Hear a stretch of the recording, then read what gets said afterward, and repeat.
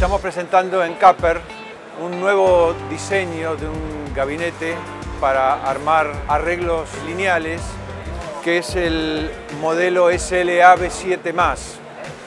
SLA es porque es un Symmetric Line Array.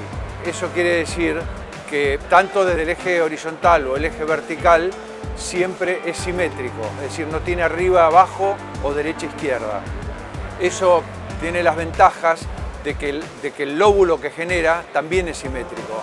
Es decir, no tiene arriba, abajo ni derecha, izquierda. Es una sección de esfera simétrico.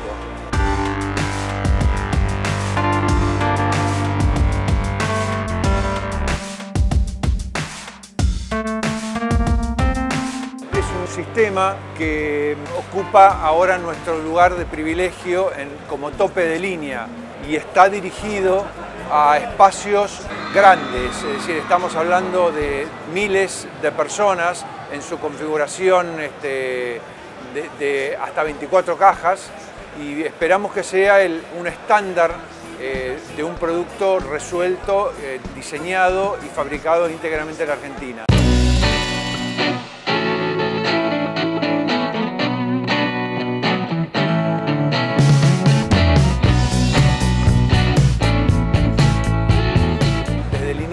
De la idea hasta la concreción de la misma fueron dos años y medio de desarrollo. Es un gabinete muy compacto, incluye 4, 6, 8 transductores, eh, dos parlantes de 12 pulgadas, cuatro parlantes de 6 pulgadas y media y dos drivers de 1.4 de formato grande. Y tiene la particularidad de incorporar amplificación.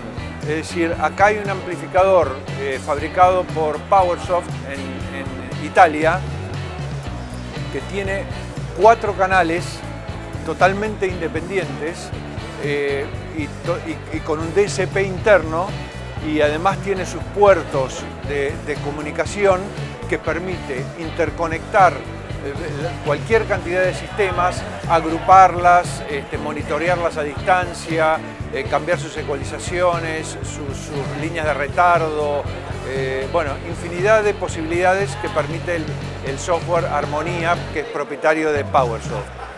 Este amplificador eh, tiene cuatro canales de 1000 watts de esos cuatro canales, un canal alimenta un parlante de 12 pulgadas, el otro canal alimenta un parlante, el otro parlante de 12 pulgadas, otro canal alimenta los cuatro parlantes de medios y el otro canal los dos drivers que están metidos en unas guías de onda isofásicas acá adentro.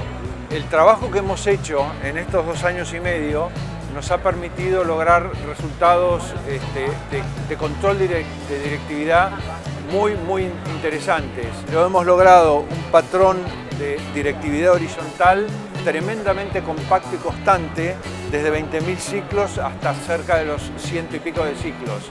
Eh, y un patrón vertical sin eh, lóbulos superiores e inferiores, en este caso porque es el vertical, a la par de las primeras marcas del mundo.